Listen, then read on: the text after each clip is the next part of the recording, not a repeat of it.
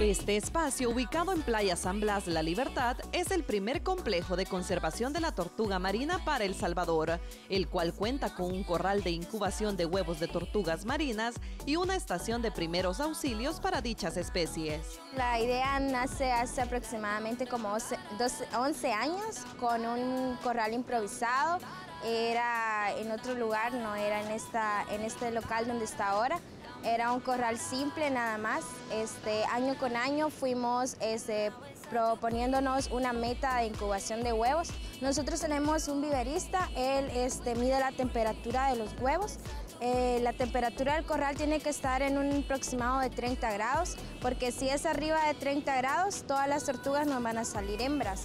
Y si es abajo de 30 grados, todas las tortugas nos van a salir machos. Y nosotros necesitamos un promedio para tener un balance.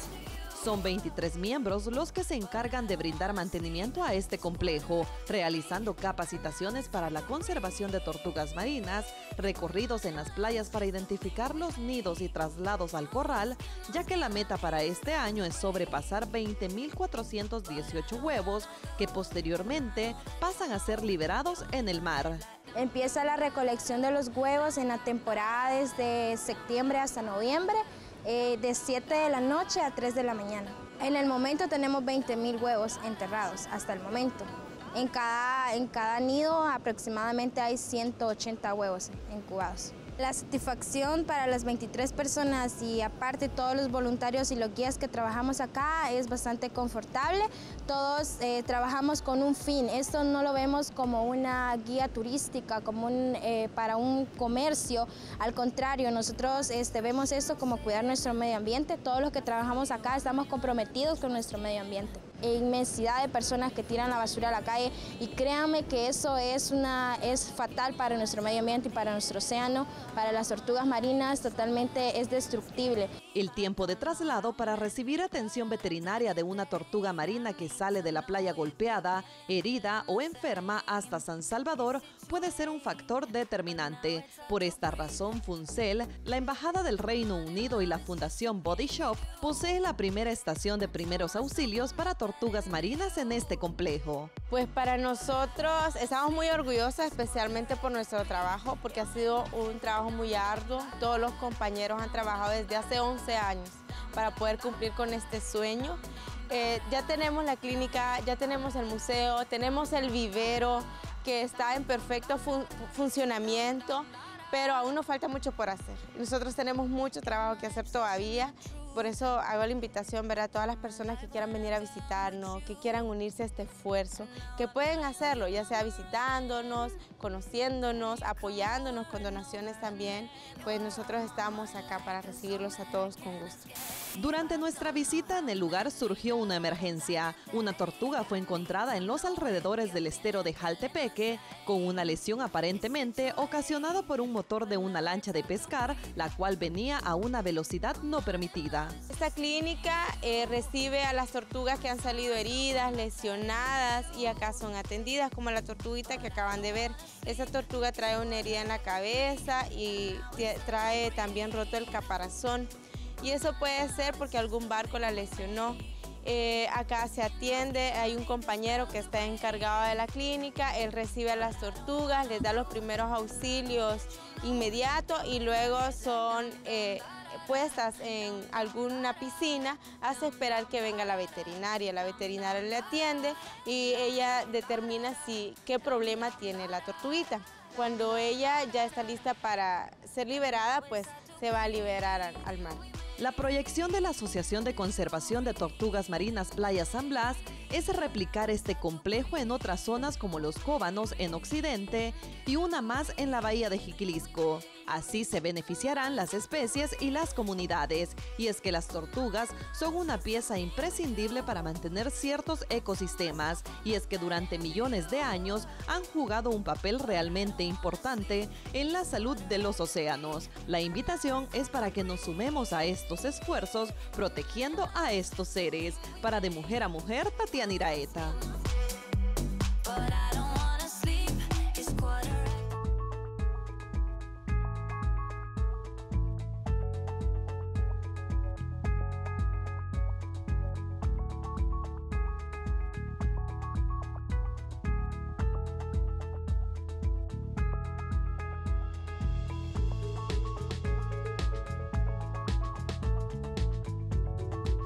Qué tal un café a esta hora? Este que ha sido siempre cómplice a la hora de nuestro programa y disfrutarlo nada más y nada menos que en el único restaurante aquí en el centro histórico de San Salvador. Estamos en Mezclas y nos acompaña Josué Funes, quien nos ha recibido aquí muy bien con este café delicioso. Bienvenido a nuestro programa de Mujer a Mujer. Bienvenido, Hola, Josué. Mucho gusto, un placer tenerlas por acá de visita y alegre de ver personalidades de, de tal, ah, ¿cómo le podríamos decir? Altura, Tan- tan- talla. tanta altura y Hoy, hoy sí va a tener clientes, mire, pasen adelante, pasen adelante, Mire, aquí- para que vean que es cierto. Buenas tardes, buenas tardes. Aquí le vamos no a pasar. Bienvenida. Atraviesense, esto es un programa así relajado. ¿Cómo está? Bienvenida. Dice, pero dice que son fans de mujer a mujer. ¿Y qué hicimos? Un arreglo. de los girasoles con los lirios. Ahora, ese nos lo íbamos a llevar nosotros. otra ropa. Sí. ¿Visitan ustedes el centro histórico seguido? Sí, visitamos, bueno, no tan seguido, pero sí ahorita que tiene todos estos lugares muy bonitos y lo estamos visitando. Y aquí también en este restaurante que ya Josué nos ha abierto las puertas, ¿verdad? nuevo apenas Cinco a eso íbamos, meses. cinco meses, ¿verdad?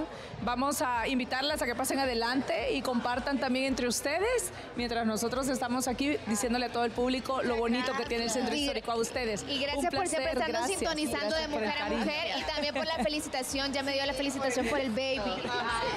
Pues muchísimas gracias. Gracias, gracias. Siempre bienvenidos y es así como reciben mezclas a todos los clientes que quieren venir a tomar algo, a compartir un buen momento o a disfrutar de un excelente menú. ¿Cómo inicia mezclas? Empecemos por el principio. Bueno, Mezclas inicia realmente de mis viajes, ¿ok?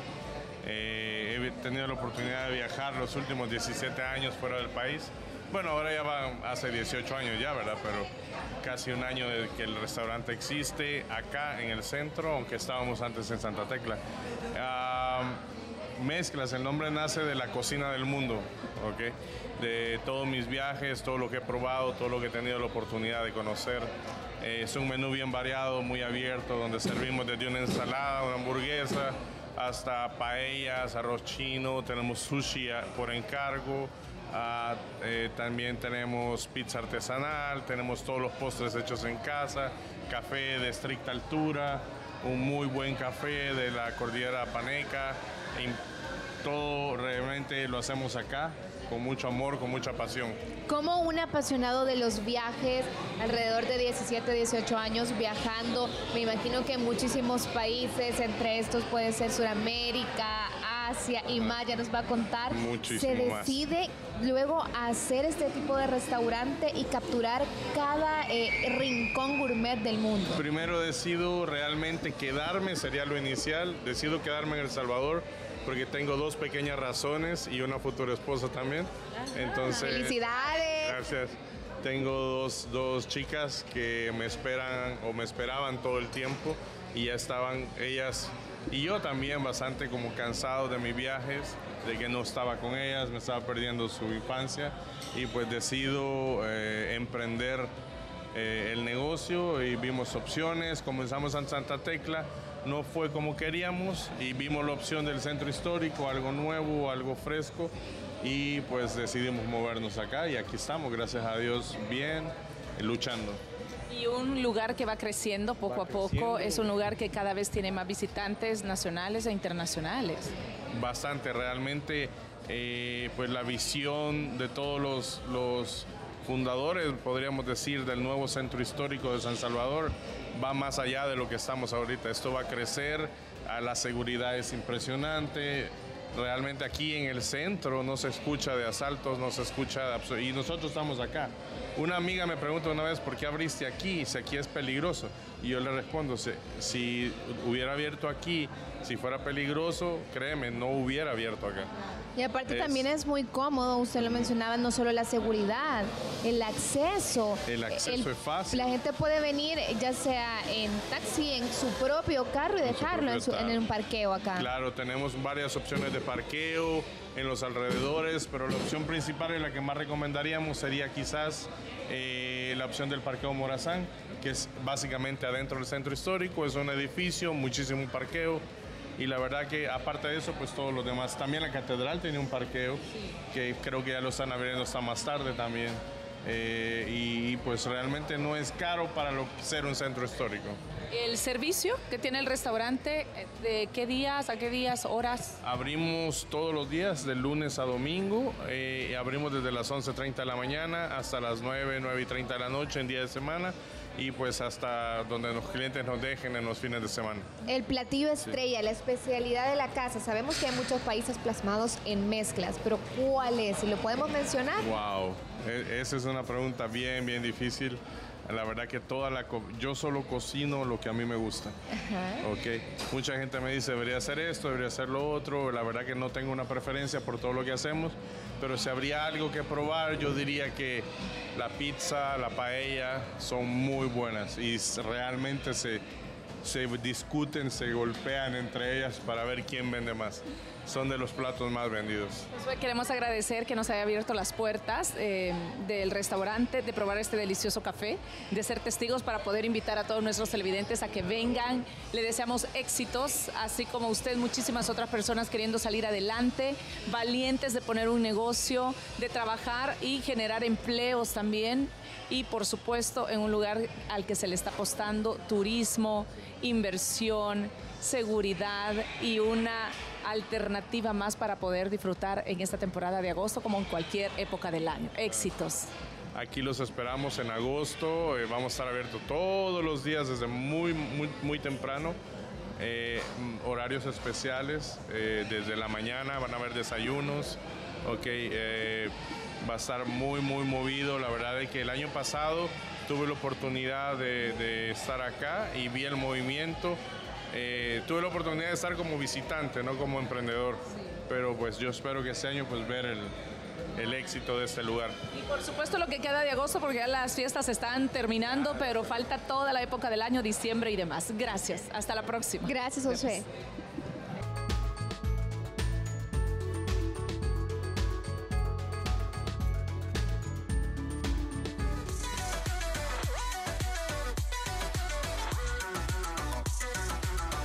Pasaporte es el documento con validez internacional que identifica a su titular. Este año El Salvador subió posiciones en el ranking de los pasaportes más poderosos, presentados por el portal Passport Index. La clasificación se hace en base a puntos, los cuales se van adquiriendo cada vez que se permite viajar a otro país sin visa. En otras palabras, cuantos más países se pueden visitar sin visa, más alta es la clasificación del pasaporte. Claro, el pasaporte es el documento de viaje por excelencia en cualquier otro país. El pasaporte cuando usted está fuera de su patria es el documento de identidad con el cual usted va a poder realizar eh, diligencias, ya sea diligencias en bancos o u otro tipo de diligencias que se necesiten en el exterior. Son 114 países los que los salvadoreños pueden eh, asistir o ir a cualquier destino turístico o a conferencias. El índice de pasaporte es una herramienta en línea gratis que permite interactuar de forma ordenada y clasificada con los pasaportes de todas las naciones del mundo, reflejando sus facilidades para cruzar fronteras a escala internacional. Este índice es una categorización o una clasificación en un rango por exoneración de visas y también que se incluyen eh, algunos requisitos también sobre medidas de seguridad y otras eh, que califica este índice para determinar el rango, en qué rango está su pasaporte y su clasificación. Para cuando son adultos únicamente tiene que presentar su DUI, Claro, si es renovación tiene que traer su pasaporte anterior, además de cancelar los 25 dólares en las colectorías habilitadas que tenemos en las ocho sucursales de nuestro país. En el caso de las niñas, niños y adolescentes, cabe mencionar que deben de presentar su certificación de partida de nacimiento con una eh, expedición no mayor a un año, presentarse a ambos padres y la fotocopia al 150%. Si uno de los padres no puede acompañar deberá de presentar un acta notarial o un poder para la emisión del pasaporte.